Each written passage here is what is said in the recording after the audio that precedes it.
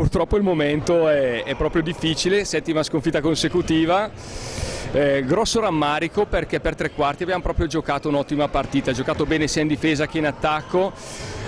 c'è stato il momento in cui abbiamo preso un break, ma più che da, dagli avversari abbiamo avuto un break, mentale, un break, un break mentale noi, ci siamo completamente scollegati e da lì la nostra partita sostanzialmente si è chiusa. Purtroppo il eh, continuare a perdere eh, mette un tarlo nella testa dei giocatori, gli fa perdere tutta la loro mm, sicurezza ed è difficile finché non riusciamo di nuovo a vincere, trovare di nuovo la sicurezza che si può permettere di portare a casa qualche partita.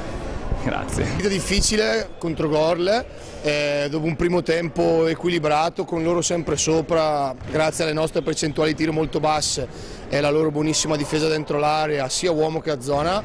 eh, abbiamo fatto molta fatica. Nel terzo quarto loro sono partiti molto bene, siamo andati anche a meno 10 e, e la partita si è messa male nel momento in cui forse di massima difficoltà nostra con i, falli, i primi falli di Agostini, i primi falli di Sartora, eh, l'entrata in campo di Scazzola con eh, l'uso di Marelli da numero 4 ha cambiato completamente la partita. A rimbalzo d'attacco Scazzola in post basso ci ha dato molto, Marelli ha aperto la scatola con qualche tiro da tre punti qualche penetrazione contro i loro lunghi e, e, lì la partita è girata, si è risolta, siamo riusciti ad andare in ritmo anche difensivamente a uomo e, e, lì la partita è completamente cambiata, loro probabilmente hanno accusato anche un po' di stanchezza e, e poi alla fine il risultato eh, ci sta, ci sta perché nel secondo tempo abbiamo fatto comunque una discreta partita.